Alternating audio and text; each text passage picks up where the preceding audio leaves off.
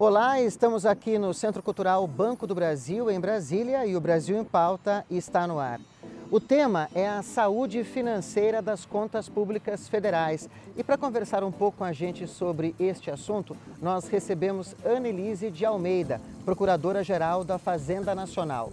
Com formação em Direito e Administração Pública aqui no Brasil e no exterior, Annelise de Almeida é funcionária de carreira da PGFN e desde o começo do ano, junto com outros órgãos federais, tem a missão de buscar a garantia dessa saúde financeira das contas públicas federais.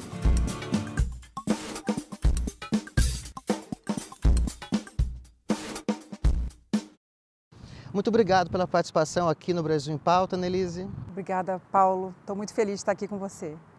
A Procuradoria-Geral da Fazenda Nacional tem pelo menos três grandes dimensões, a gente vai falar um pouquinho aqui no programa sobre isso, mas uma das dimensões é assessorar juridicamente o Ministério da Fazenda em questões tributárias. Ou seja, indiretamente a PGFN está ligada a essa busca do governo federal pelo equilíbrio das contas públicas e uma maior arrecadação.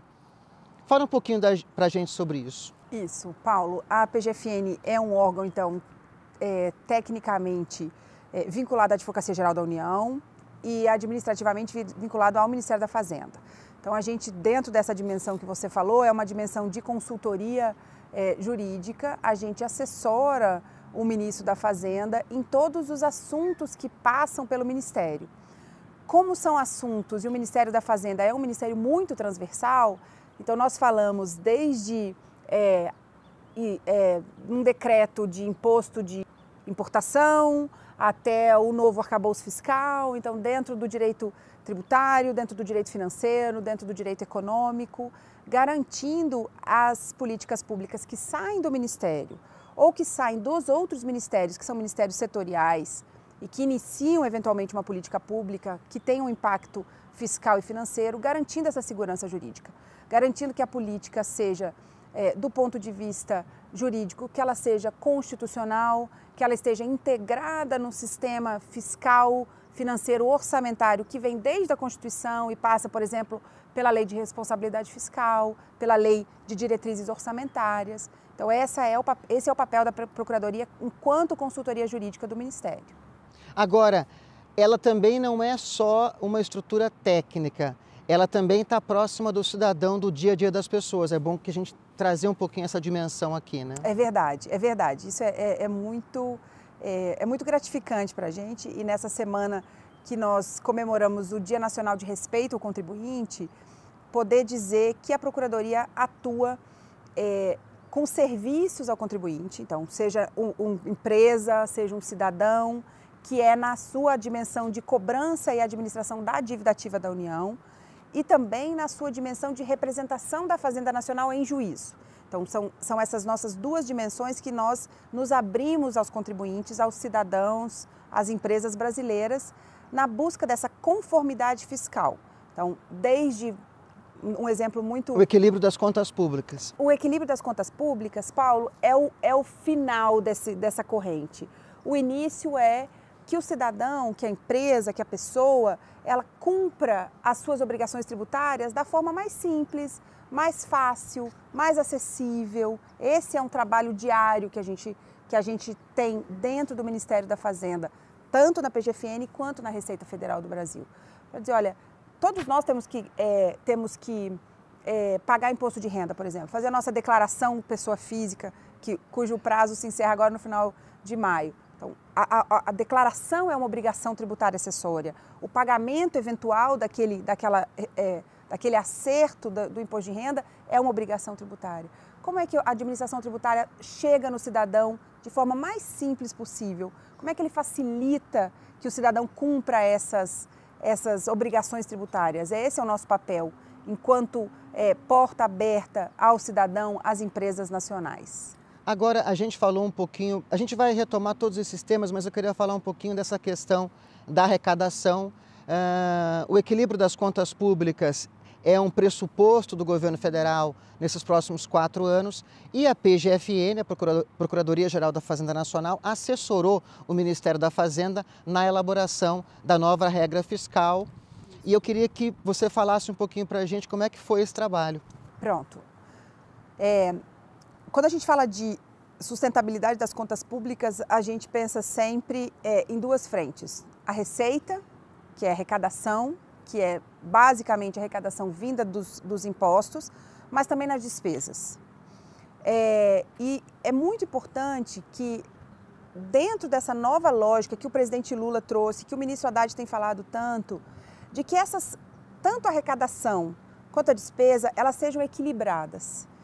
É, para quê? Para que a carga tributária não seja muito mais alta do que a capacidade de pagamento dos contribuintes e que as despesas também não fiquem muito aquém das necessidades. Necessidades de investimento, de infraestrutura no país, necessidade de políticas sociais, como Minha Casa Minha Vida, como Programa Mais Médicos, por exemplo. Para garantir o próprio crescimento econômico também, pra né, Para garantir o crescimento econômico. E o bem-estar da população. Para tentar tentar colaborar com essa diminuição da desigualdade social que é tão grave no nosso país. Então, o novo arcabouço fiscal, ele tem essa lógica de olhar o sistema das contas públicas de uma forma integral. Ele, ele percebe que a receita está num crescente, ele percebe se a despesa passou de um limite que é um limite aceitável, porque é, as necessidades da população elas são infinitas mas os recursos são finitos. E faz parte do governo, e principalmente dentro do Ministério da Fazenda, também do Ministério do Planejamento, olhar isso de uma forma integrada.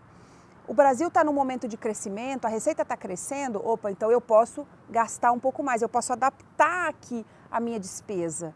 E essa despesa não significa, é, como as pessoas eu, cri, criticam muitas vezes, inchaço da máquina pública ou gastar desarrazoadamente. Não, é gastar em investimento, em infraestrutura, em políticas que são políticas de Estado, do Estado brasileiro.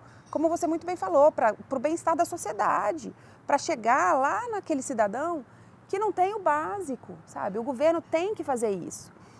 É, o ministro Haddad, então, trouxe a ideia do novo arcabouço fiscal, ele discutiu isso intensamente com o secretário do Tesouro Nacional é, e a Procuradoria entrou no momento, então, de construção do texto, de encaixar esse texto dentro dessa estrutura constitucional. Né? A, a, a Constituição tem regras muito detalhadas do sistema financeiro e do sistema tributário. Lei de responsabilidade fiscal. Lei de responsabilidade fiscal, as leis orçamentárias, né? a LDO, a LOA. Como é que a ideia que o ministro trouxe, como é que isso se encaixava dentro desse sistema constitucional e legal brasileiro.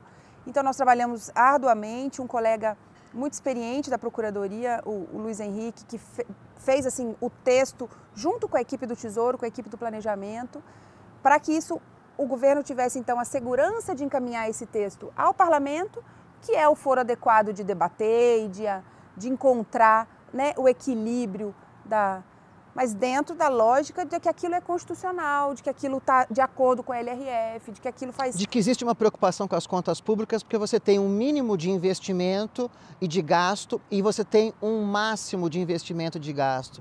Então, quer dizer, você ter essas duas dimensões demonstram uma preocupação com as contas públicas, porque senão, num ano extraordinário, se arrecadaria demais, mas se gastaria demais sem. É Eu acho que essa é a questão também, né, Annelise? É isso, Paulo. Tem muito.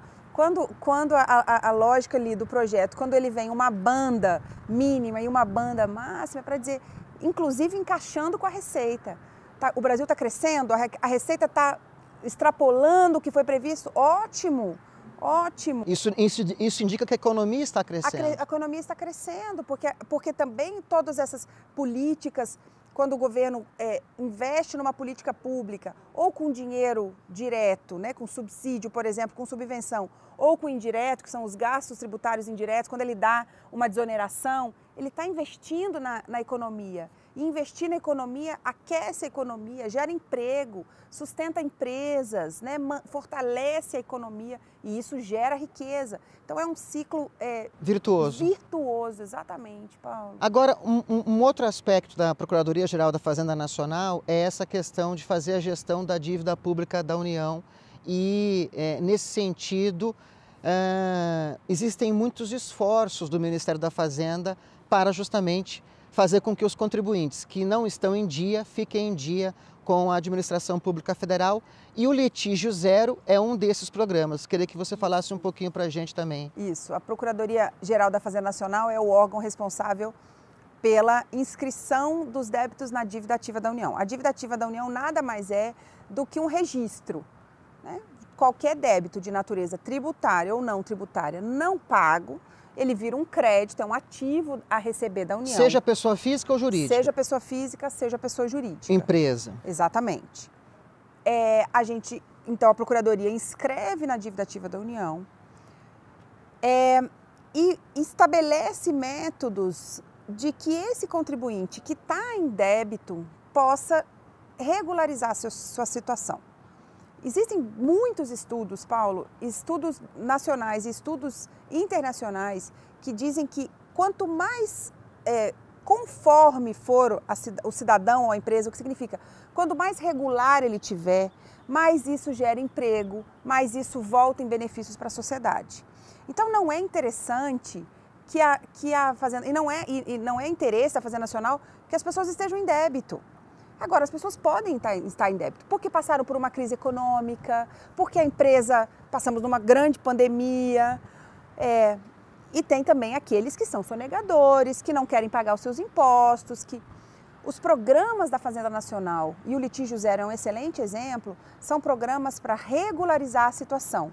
Para dizer, olha, você está em débito, vem aqui, Vamos negociar. Você vai ter vantagens. Você vai ter vantagens. Você passou por uma crise lá atrás, mas a fazenda quer, a fazenda quer salvar, te ajudar a salvar o teu, o teu negócio. Vamos regularizar. Eu te dou um prazo para pagar, eu te dou um desconto a partir da sua capacidade de pagamento. Porque se eu dou desconto para todo mundo de forma igual e se eu dou prazo para todo mundo, qual é o estímulo do cidadão comum de pagar o imposto no, na data, no prazo que tem? A gente está indo para um rápido intervalo é, Annelise, mas eu já queria deixar uma pergunta para a gente retomar o segundo bloco, que é a questão da reforma tributária. Ela está em discussão no Congresso Nacional e como que ela vai impactar no trabalho da, da PGFN, caso ela seja aprovada, porque uma das críticas é, que se faz ao regime tributário no Brasil é que ele é muito complexo. Uhum. Então, mas você responde isso no segundo bloco. Tá Vamos para um rápido intervalo e voltamos em instantes aqui no Brasil em Pauta com a Procuradora-Geral da Fazenda Nacional, Annelise de Almeida. Não saia daí.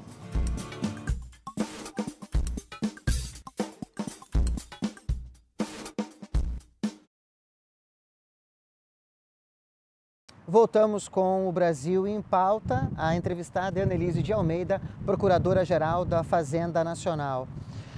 Reforma tributária, Annelise, vai facilitar o trabalho da PGFN, caso ela ocorra como está sendo ali discutida no Congresso Nacional? Com certeza, Paulo. Vai facilitar a vida de todo mundo. É uma reforma que busca uma simplificação do sistema tributário. É, é uma reforma que tem como uma das, dos pilares da essência dela é, diminuir a litigiosidade. Então, um exemplo quando você fala, por exemplo, o ISS, que é um imposto municipal sobre serviços, existem é, centenas, talvez milhares de processos no judiciário brasileiro discutindo o conceito de serviço é, e a relação, por exemplo, do ISS com o ICMS, que é um imposto estadual sobre mercadorias, circulação de mercadorias. Onde é que um incide, onde é que outro incide, qual é o conceito de serviço, isso é serviço, isso é mercadoria, comércio digital, por exemplo a reforma vem com, como uma das, das suas é, premissas simplificar, simplificar o cumprimento das obrigações, mas também simplificar essas discussões jurídicas na tributação. É, facilita para a Procuradoria-Geral da Fazenda Nacional, que representa o Estado, a União no Poder Judiciário. Então, nós, nós representamos a, a Fazenda Nacional tanto no contencioso administrativo lá no CARF, por exemplo, que se discutem grandes teses tributárias, mas também no judiciário, então vai facilitar imensamente o nosso serviço, com certeza. Vai facilitar a vida do cidadão, vai facilitar para essa relação é, federativa entre União, Estados e municípios. É, a reforma tributária é um projeto ambicioso. É, existe assim uma quase que como uma anedota de que quem estuda direito entrou na faculdade, é saiu, de... passou, é. discutiu alguma reforma tributária, né? Sim. né? Então, desde que o mundo é mundo, a gente fala de reforma tributária no Brasil. O sistema é muito parecido hoje com a definição de 88 ali da Constituição, né? É muito parecido, é muito parecido. O imposto sobre serviços é estadual, Exatamente. o ICMS é... O, é, o imposto sobre serviços é, é municipal, municipal, o ICMS, é estadual, tem os impostos, os impostos federais. Impostos federais, então você não pode ter um imposto é, sobre, sobre a mesma base, mas aí você tem todas as contribuições é, sociais ou de categorias profissionais previstas lá na Constituição. É, então, assim, tem, são, é, é, é, muito complexo o sistema. É uma infinidade de, de leis federais, municipais, estaduais que tratam disso. É, mesmo as pessoas que, que trabalham com a tributação, que, que é, enfim, eu posso dizer isso, assim, é o, meu, o, meu dia a dia na Procuradoria, dentro do Ministério, tem, a tributação está né, é transversal ao que a gente faz na Procuradoria. Quando eu vou, por exemplo, é, pagar um imposto na minha vida pessoal, tem, tem sempre aquela dúvida, né? Uma, uma, transação imobiliária, por exemplo, que você tem que pagar um imposto estadual. É assim que paga? Está certo? Não está certo? Qual é a declaração que eu, que eu faço? Não quero né, descumprir um prazo. Então, isso tudo, a reforma vem para facilitar Trazer uma maior racionalidade ao sistema tributário. Racionalidade ao sistema tributário, exatamente. E, e, e diminuir uma coisa que é tão, tão cruel que é a chamada regressividade. Né? O sistema tributário brasileiro é, é um sistema regressivo. regressivo. o que significa que ele, ele cai na, na, na, nas costas, ele, ele é suportado para aquelas pessoas que têm uma renda menor, que têm uma capacidade tributiva, contributiva menor. Né? Então você vê, uma fralda, criança pequena, bebê usa fralda. Uma pessoa que ganha mil ou uma pessoa que ganha 10 mil paga o mesmo valor naquele pacote de fralda, paga o mesmo valor em imposto naquilo. Pesa muito mais numa pessoa que ganha menos. Isso é cruel. Olhando, por exemplo, os, os produtos da cesta básica, os produtos de higiene básicos da, da, população. Então a reforma vem pensando nisso também.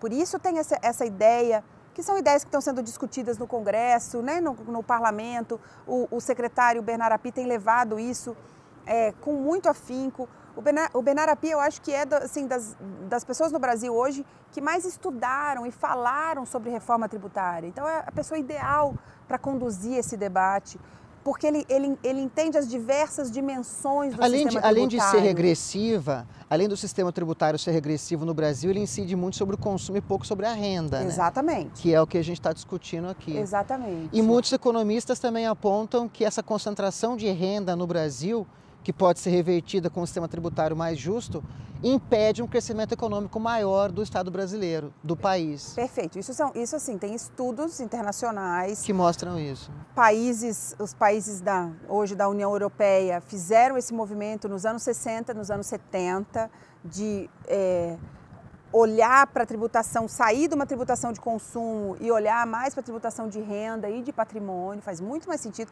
Não que seja perfeito, acho que né, nenhum sistema tributário no mundo é, mas a, a OCDE tem, tem essas as diretrizes nesse sentido. É, a tributação sobre a renda ela tem uma, um potencial muito maior de reverter em arrecadação para o Estado brasileiro, mas também de facilitar é, essa circulação da, da, da riqueza, diminuir as desigualdades. Não acho, Paulo, é, que, a, que o sistema tributário, que a tributação em si seja a solução para a desigualdade social no Brasil, muito pelo contrário. Mas é um elemento importante sim, isso. Sim. É um elemento é, relevante. Agora, você comentou também esse, esse aspecto da gestão da dívida pública federal, que é um dos atributos da, da PGFN. Qual que é o volume hoje? É, quanto vocês conseguiram recuperar desde o início do ano? Como é que é esse trabalho também de recuperação desses recursos? Tá. A dívida ativa da União ela tem um volume considerável de, de créditos a receber, né, de ativos da União a receber. Nós falamos hoje de um estoque de 2,7 trilhões. Esse estoque ele é, é um estoque, como eu disse para você, a dívida ativa é um registro, então a gente tem créditos aí dos anos 80, né? Porque são cada um cada um desses reais lá escrito são valores públicos, então valores que nós usamos a estrutura da Fazenda Nacional para recuperar, para arrecadar, para trazer para dentro do cofre. E é um estoque porque a União ela não pode, de uma hora para outra, abrir mão não desse... Pode. Não pode. Não pode. Não Exatamente. Pode. É uma, é um, é... Ou seja, é um estoque que vai... É um estoque no tempo. O que, que, nós, o que, que nós fazemos na Procuradoria é, e de forma muito profissional nos últimos 10 anos, nós classificamos esse estoque. Então, nós sabemos hoje qual é a recuperabilidade de cada um desses débitos. Eu posso estar falando, por exemplo, de um crédito do Instituto do Açúcar e do Álcool, que é um instituto dos anos 80, lá do setor sucro alcooleiro, e eu posso estar falando de um crédito, é, imposto de renda pessoa física do último ano. Eles estão, os dois estão dentro desse, né, desse registro, mas eu não, eu trato eles de forma diferente. Como eu trato diferente o sonegador fiscal, o, aquela pessoa que manda dinheiro é, para o exterior de forma ilegal, daquela é, empresário que tem uma rede de padarias e que passou por uma crise. É, então, nós vemos hoje, por exemplo, que nós temos quase um trilhão de reais desse estoque todo que são categorizados como A e B, quer dizer, com alta potencialidade de recuperação. E nós temos valores importantes que são categorizados como D, que são, por exemplo, empresas falidas, empresas em recuperação judicial, que têm uma capacidade de pagamento reduzida e comprometida né, por conta daquela situação econômica ali. Você vê que de 2014, depois dessa categorização, essa classificação, essa classificação do crédito, exatamente essa a expressão que a gente usa, classificação, nós saímos de uma arrecadação 2015, 2016 de 15 bilhões para uma arrecadação o ano passado que bateu 40 bilhões de reais. Então, assim, quase hum, duas vezes e meia arrecadação num período de oito anos. Isso significa que a Fazenda olha para esse estoque, desse registro e foca naquilo que é importante, foca naquilo, naquele crédito que é relevante e foca principalmente é, na, além da capacidade de, de pagamento do devedor, quem é o devedor. Então tem devedor que se incomoda com uma mensagem do WhatsApp dizendo você está devendo. Tem devedor que eu preciso levar ao judiciário e pedir uma, uma, uma decisão judicial para constranger o patrimônio. Entender quais são as, essas categorias nos dá uma recuperação de crédito muito mais proativa, muito mais profissional e aí dinheiro entrando no caixa do Tesouro Nacional para subsidiar e, e, e é, suportar políticas públicas importantes. Nessa questão da, nessa questão da arrecadação, a gente também tem é, a desoneração que ela é, é alta, eu já vi alguns dados apontando quase 570 bilhões de reais de desoneração em 2023. Agora, quando você concede uma desoneração para algum setor especificamente, é pensando no que vem em troca. Uma política pública de geração de emprego e renda ou de investimento naquele próprio setor que vai também é, reverter em ganhos econômicos. Pensando nisso, pensando nessa questão da arrecadação que o governo está buscando, é uma equação também complexa de se fazer, né, Annelise? É. Olha, quando a gente fala em desoneração, a gente fala de gasto tributário indireto. Então, no sistema de referência, o impo aquele imposto, aquele tributo estava sendo, era devido e estava sendo esperado de ingressar nos cofres públicos, mas por uma decisão política que passa tanto pelo Poder Executivo como pelo Poder Legislativo, foi decidido que aquela política pública ia ser fundada num benefício tributário.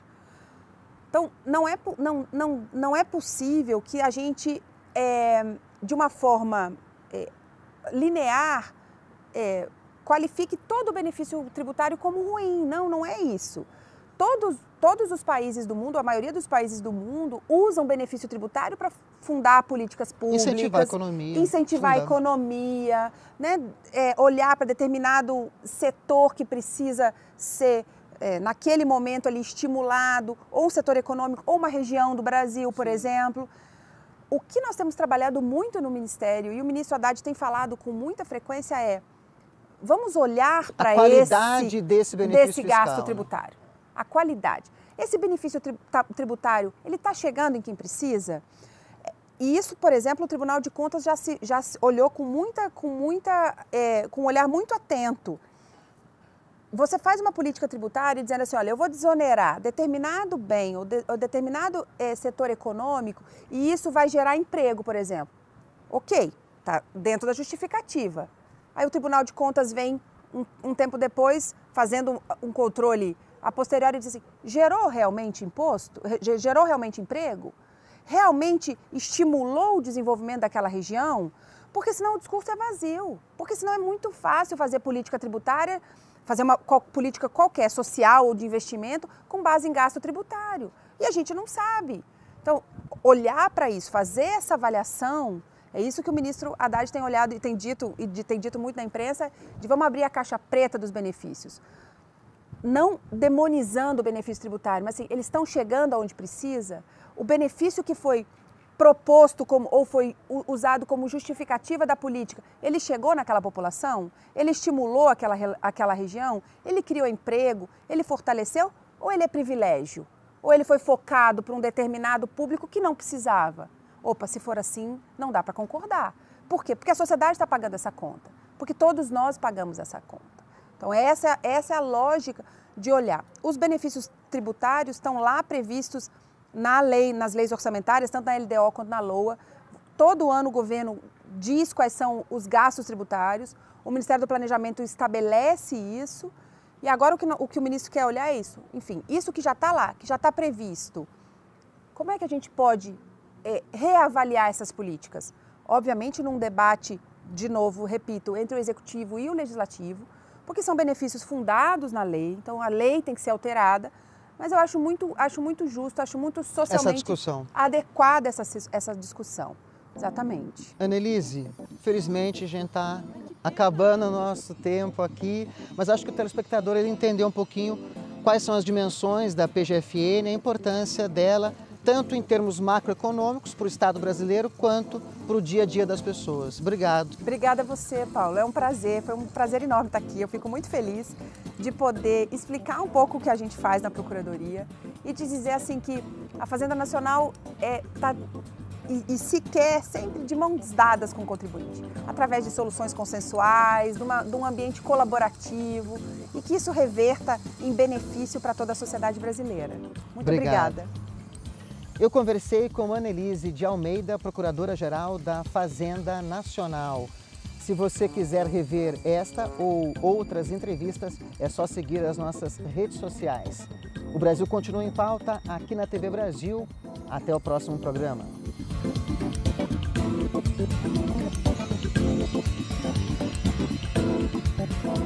Música